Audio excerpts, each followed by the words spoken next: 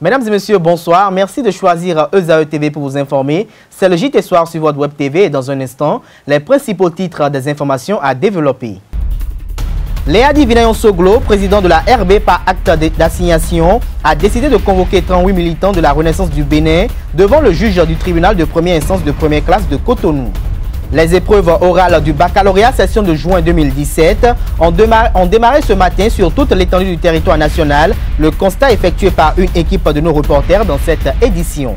Sept nouveaux membres ont fait leur entrée dans la grande famille de la Jeune Chambre internationale JCI à Kalavisika le samedi dernier à la faveur d'une assemblée générale. Le compte rendu de la cérémonie dans un instant. Si je ne pouvais écrire, je serais muet. Sous la présidence de l'honorable Boniface Yarouetome, deuxième questeur de l'Assemblée nationale et le parrainage de Oswald Homeki, ministre de la Jeunesse et des Sports. L'association Peace pour l'enfance et la jeunesse et Venus d'Eben Communication présente la soirée finale de la deuxième édition du grand concours littéraire Miss Littérature. Qui d'entre les dix candidates remportera le prestigieux trophée de l'intelligence, de la culture littéraire et de l'art oratoire? Rendez-vous le samedi 22 juillet 2017 au Benemarina Hôtel de Cotonou à 19h30 précise. Plusieurs lots à gagner, dont une moto et des centaines de livres. Artistes invités, Nias dans le métoc. Entrée 5000 francs. Infoline 97 87 0303. Miss Littérature 2017, ne ratez pas le plus glamour des rendez-vous littéraires. Sponsor officiel, ESAE Université. Miss Littérature, la beauté intelligente. À nouveau, bonsoir. La crise à la renaissance du Bénin RB connaît un nouveau rebondissement. En effet, Léa Divina Osoglo, président de la RB, par acte d'assignation, a décidé de convoquer 38 militants de la renaissance du Bénin devant le juge du tribunal de première instance de première classe de Cotonou. Les mises en cause sont convoquées pour le 19 juillet prochain pour répondre de ce que leur reproche le président qu'ils auraient déchu. Les sélections locaux du Togo et du, Bénin se sont neutralisées dimanche à Lomé lors d'un match de football avec un score d'un but partout. Une rencontre qui s'inscrit dans le cadre du premier tour des éliminatoires du championnat d'Afrique des Nations Chan 2018, équivalent de la Cannes pour les joueurs locaux. Les Béninois qui ont dominé la première partie de cette rencontre ont ouvert le score à la 45e minute grâce à un but de Marcelin Coupeau. Les deux équipes sont allées à la pause sur ce score de 1 but à 0 à la deuxième partie de ce match. Deux minutes après la reprise, les, éperviers locaux ont réussi à égaliser avec un but de Sewonou Kojo, soit à la 47e minute.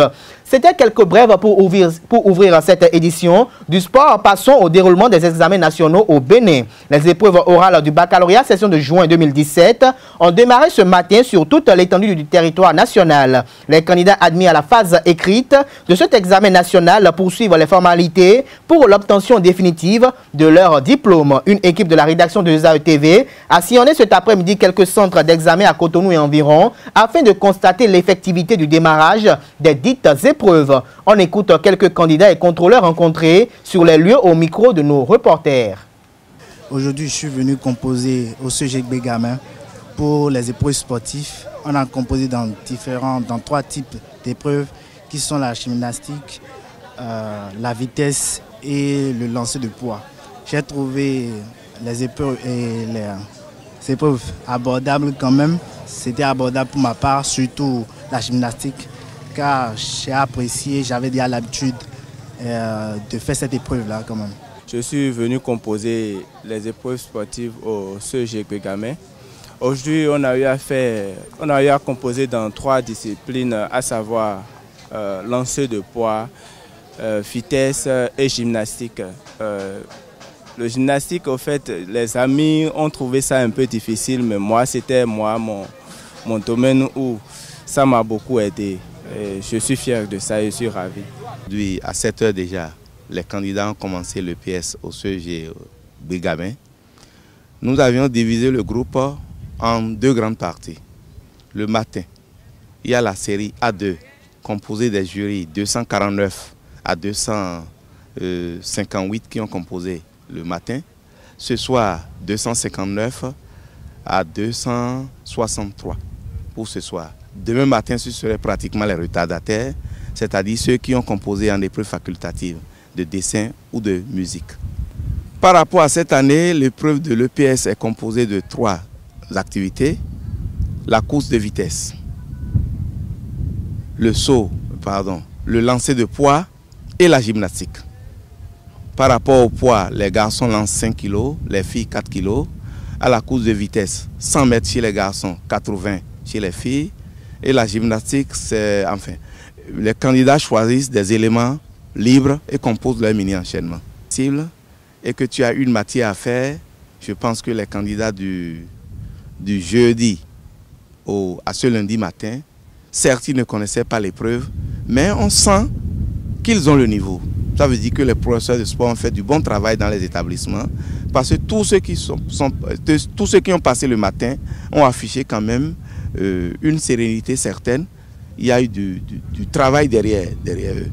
Sept nouveaux membres ont fait leur entrée dans la grande famille de la Jeune Chambre internationale JCI à Kalavissika. La, la, cérémonie de leur intronisation a eu lieu ce samedi 15 juillet 2017 au Centre de recherche d'études de créativité CREC de Godomé. La cérémonie d'intronisation des nouveaux membres réunis au sein de la promotion dénommée Eouzou a eu lieu en présence d'éminentes personnalités de l'organisation JCI au Bénin. Eusao TV était et voici le compte rendu. Avec grand honneur, on a suivi le processus d'affiliation avec les différents modules de formation qu'on a suivis. Ce sont des modules qui nous ont permis de mieux connaître l'organisation, de savoir ses règles, ses croyances, d'adopter sa philosophie. Et on peut dire que le processus d'affiliation nous a permis aujourd'hui de savoir que nous avons trois choses à offrir à l'organisation. Notre engagement, notre temps et puis des sacrifices. C'est ce qu'on a offert à la Jeune Chambre internationale puisque la Jeune Chambre internationale a pour mission de travailler à impacter la communauté. Et c'est pour impacter la communauté que nous devons travailler à accroître l'effectif. C'est la raison pour laquelle ce soir, nous avons été intronisés nouveaux membres de la Jeune Chambre internationale et de l'OL à Bomekalavisika. Mes impressions sont, euh, sont grandes, sont vives. Euh, je pense que c'est une grande joie. Euh, après 14 modules de formation, nous sommes arrivés au bout de, notre chemin.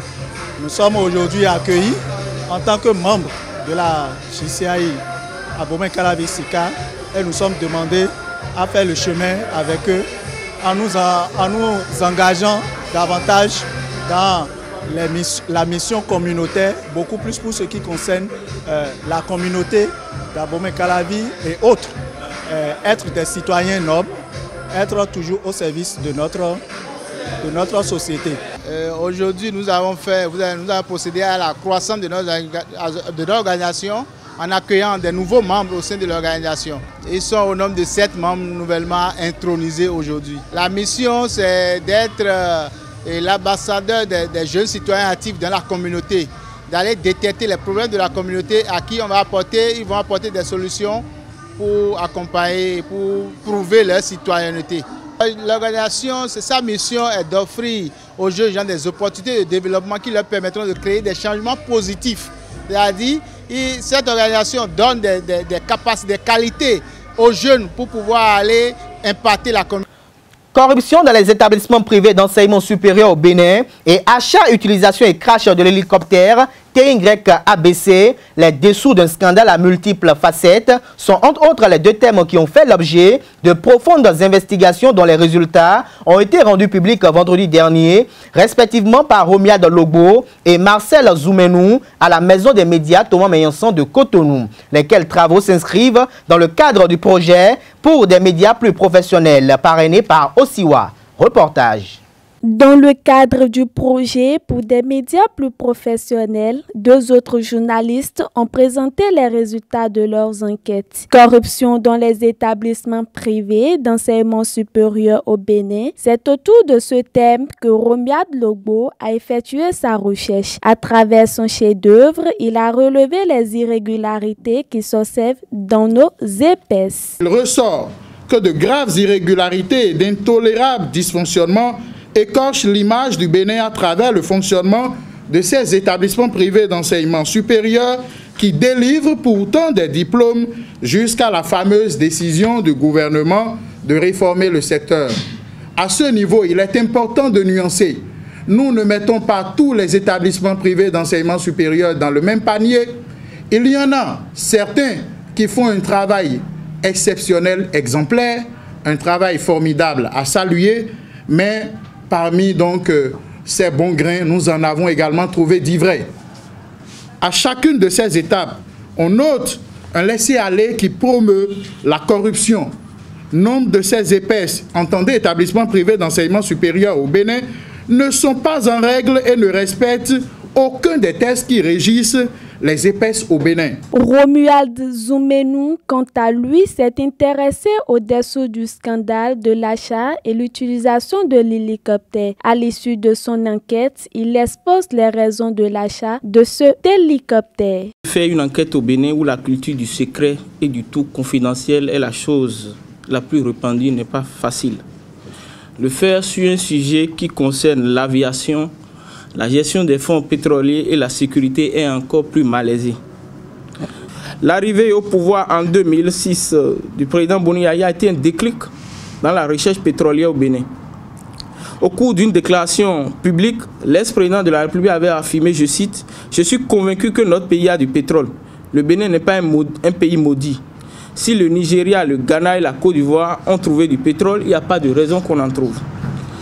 Alors il a donc euh, et après un remaniement, euh, un portefeuille confié à euh, un portefeuille qui concerne la recherche pétrolière.